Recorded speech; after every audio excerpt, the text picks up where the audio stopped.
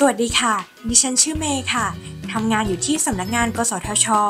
ในส่วนของสำนักรับเรื่องร้องเรียนและคุ้มครองผู้บริโภค ในกิจการโทรคมนาคม ที่มีหน้าที่ในการรับและจัดการปัญหาเรื่องร้องเรียนจากการใช้บริการโทรคมนาคม ได้แก่ โทรศัพท์บ้าน โทรศัพท์มือถือ โทรศัพท์สาธารณะ และอินเทอร์เน็ต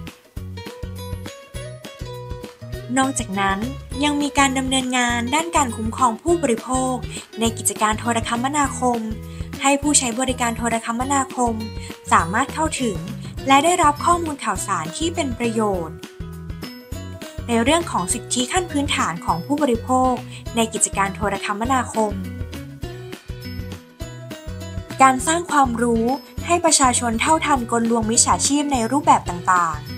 รวมถึงการเผยแพร่ความรู้เกี่ยวกับเทคโนโลยีการสื่อสาร ในยุคดิจิทัล ที่เข้ามามีบทบาทสำคัญ ในการดำเนินชีวิตในปัจจุบัน เพื่อให้ผู้บริโภคและประชาชน สามารถใช้บริการโทรคมนาคมได้อย่างมีประสิทธิภาพ และไม่ตกเป็นเหยื่อกลลวงของมิจฉาชีพค่ะ ในครั้งหน้า เมย์จะมาแนะนำคำศัพท์เบื้องต้น เกี่ยวกับการบริการโทรคมนาคม ที่ใช้กันในชีวิตประจำวัน ให้ทุกคนได้รับทราบกันนะคะ